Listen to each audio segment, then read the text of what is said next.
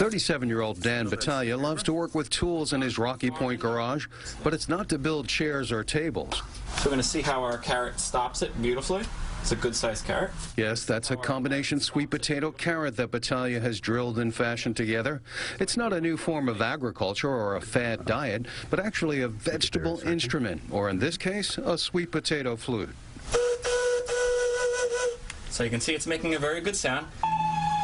A sound so good, Battaglia is one of several trained musicians who perform regularly on Long Island as part of the Long Island Vegetable Orchestra.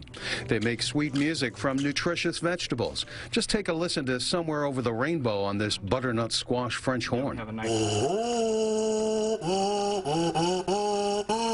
Dan Battaglia joined the Long Island Vegetable Orchestra seven years ago. Now fellow group members rely on him to cook up or craft many of their instruments.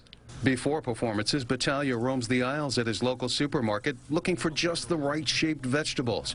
Other shoppers are both impressed and a little dubious. It sounds a little crazy.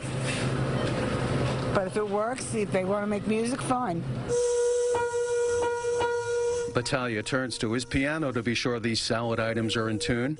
He knows some folks think that he's out of his gourd, but he counters that vegetable instruments make total sense. Anything can be a musical instrument. You just have to carve it the right way, just to manipulate the air. Battaglia's favorite vegetable to play is the carrot flute.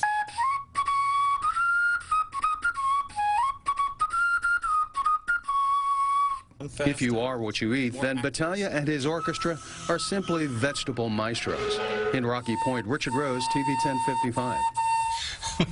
Uh, if you want to, you can see the Long Island Vegetable Orchestra play with their food at the Long Island Fair in Old Bethpage on September 16th. I can honestly say I've never seen anything like that. No, and maybe never again. But That was interesting. Interesting. The last one really sounded, but the flute, Yeah. yeah. Alouette. Okay. All right.